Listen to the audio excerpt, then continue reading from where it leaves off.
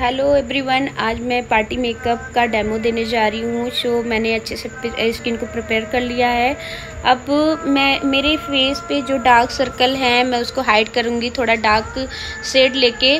फिर मैंने एक अच्छा सा बेस लेके मेकअप स्टूडियो का पूरे फेस पे ब्लाइंड कर दिया है। फिर मैंने न्यूट्रल शेड लिया है। मेकअप स्टूडियो का ही न्यूट्रल शेड है। अपने फेस से टू टोन लाइट कलर उसको मैं अच्छे से ब्रश की हेल्प से जहाँ जहाँ हाईलाइटिंग एरिया है, वहाँ वहाँ मैं हाईलाइट कर रही हूँ। अब मैं अच्छे से ब्लेंड करूँगी उसको। सो स्मूथली ब्लेंड करेंगे। जैसा कि आप देख रहे हैं स्मूथली ब्लेंड करेंगे, यानी कि हमारा मेकअप फ्लॉलेस दिखे और बहुत अच्छे से ब्लेंड हो जाए।